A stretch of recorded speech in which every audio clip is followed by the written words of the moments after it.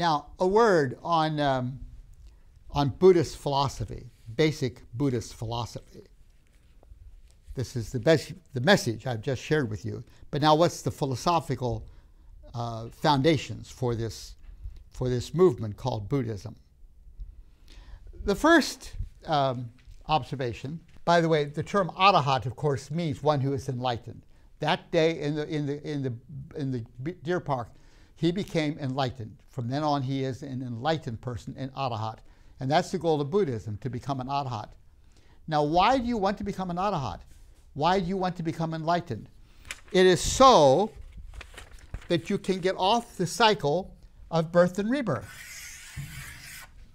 Now, did you notice I used a change of phrase here?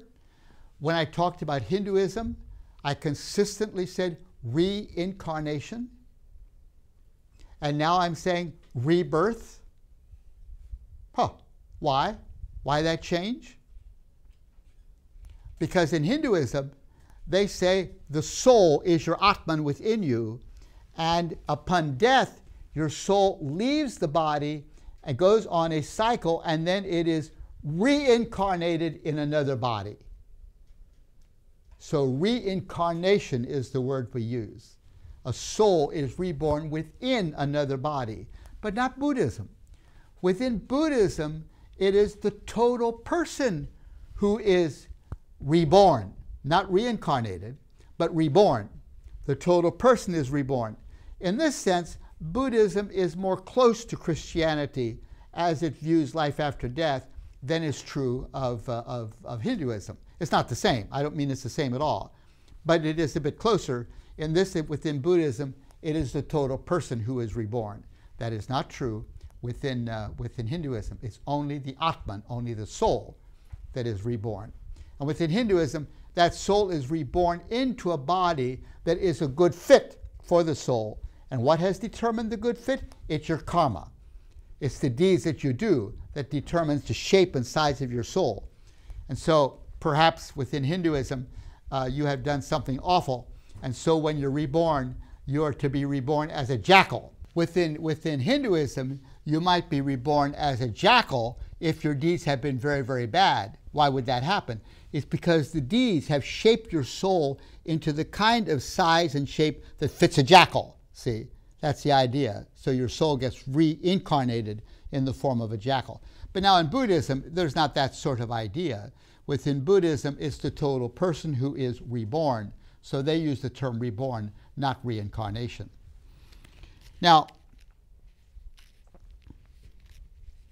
so as I say, it's the total person who is, uh, who is, who is reborn. And why is he reborn? Because of wrong, of wrong Tanha. And so the idea is that you go round and round on this cycle of birth and rebirth within Buddhism just like in Hinduism, except in Hinduism, it's the whole soul. Here it's the body going round and round. And so the goal in Buddhism, just as in Hinduism, is to get off that cycle of going round and round. That's the idea, to get off that cycle. And how do you do that? Through arahat, through becoming enlightened. And when you practice these principles that we've been talking about properly, then the possibility is there that when you die, you won't be reborn again and you'll be absorbed into the universal. Now, when you're absorbed into the universal, that doesn't mean going to a heaven where we can talk with each other and know each other. No, to being absorbed in the universal is to be absorbed into the universal ocean of life. Uh, Buddhists liken it to a drop of water, uh, and the ocean waves are hitting the rocks and this drop of water goes flying into the sky above the waves, but it remains a drop and it comes back into the waves and stays that way. And at the next wave, it will go out again into the atmosphere. And so it goes round and round, this little drop of water, round and round, and round and round, caught there in the waves. Why does it keep going round and round? Why? What's going on? Ah, it's wrong Tanha. That's why. It's what's wrong Tanha? Ah, wrong desire is the desire to continue to exist. Here's David Shank, and he hopes so much that at death he will continue to exist. that he won't go into oblivion. And that desire keeps me locked on this cycle of going round and round and round and round. I can't get off of it. I can't get off of it until, until I can get off of it when, I have, when I have right tanha, right desire. And when I have right tanha, it's as if a spring is released and my soul is released from that entrapment, from that trap of going round and round. And when it's released, what happens? It is absorbed into the universal wave. It is no more an individual soul and no more an individual person. It's now absorbed into the universal. That's, that's the whole Buddhist philosophy, the whole Buddhist quest. Mm-hmm. To, desire, to get right tanha. To get right. It's what they're working for. Right desire. Yep.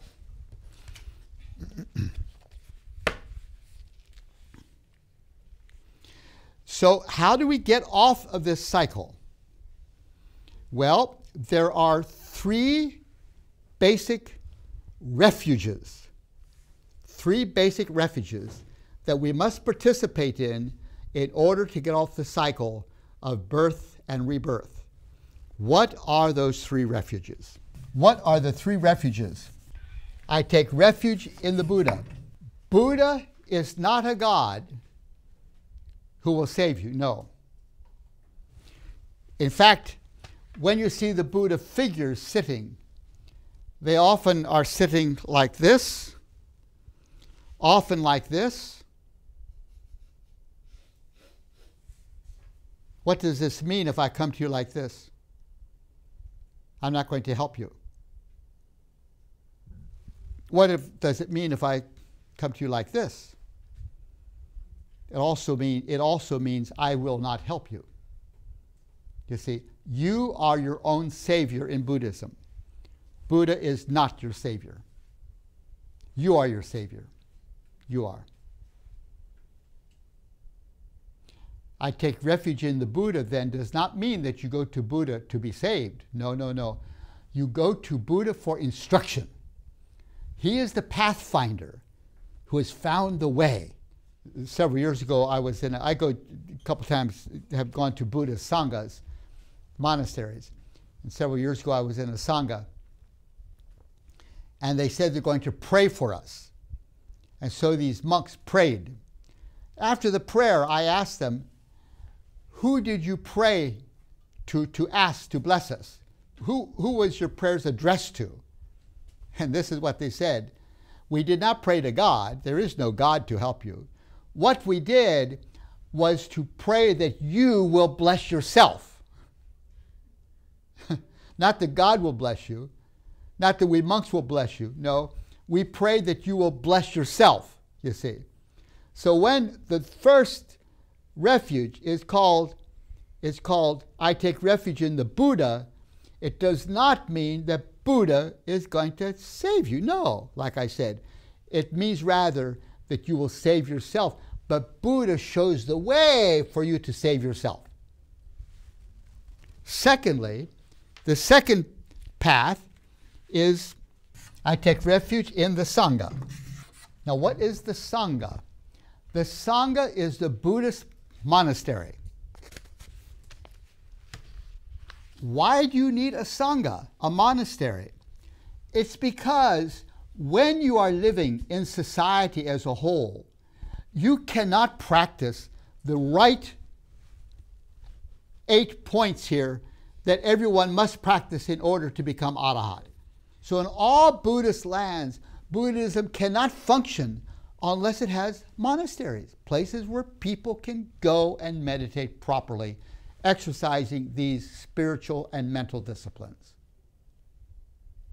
So that's the second refuge. First of all, I take refuge in the Buddha. Secondly, I take refuge um, in the Sangha. Third, third, I take refuge in the Dharma. I take refuge in the Dharma. What's the Dharma? The Dharma is the total way of life of the Buddhist practitioner, the way. While we continue being a benevolent project, your kind donations will continue to be vital in fulfilling the calling of TVS ministry. We do count on your gracious support and cooperation. For detailed information, please visit tvsseminary.com. These three dimensions are necessary in order to acquire arahat. I take refuge in the Buddha. He is the pathfinder showing me the way to think and act. I take refuge in the Sangha. That's the monastery where you will want to spend some time, surely, in your lifetime, maybe just six months, maybe six years, maybe a lifetime. It depends how serious you are about, becoming an arahat. But um, women can be can be nuns if they want to. It's mostly a man's world, but it can be women as well uh, that uh, partic- participate in the in the sangha. And then I take refuge in the dharma, which is the right karma of the middle way, not going to one excess, another extreme, going the middle way. That's that's the dharma. Those three basic principles, which are called the um, the basic Buddhist philosophy the basic three refuges. I take refuge in those three in those three refuges. Now, these three refuges help a person to acquire enlightenment.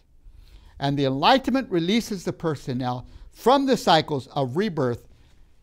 And when you become released from these cycles of rebirth, because you now have right tanha, having practiced these three refuges, when you become released, then you are released into nirvana, which means nothingness. Like the drop in an ocean wave. You're released so you're not keep, being born and reborn again and again, and you're released into the ocean wave, become absorbed with it, absorbed with the universal. So your individuality is now gone forever. You're absorbed into the universal like a drop of water in a bucket of water, um, and that's nirvana.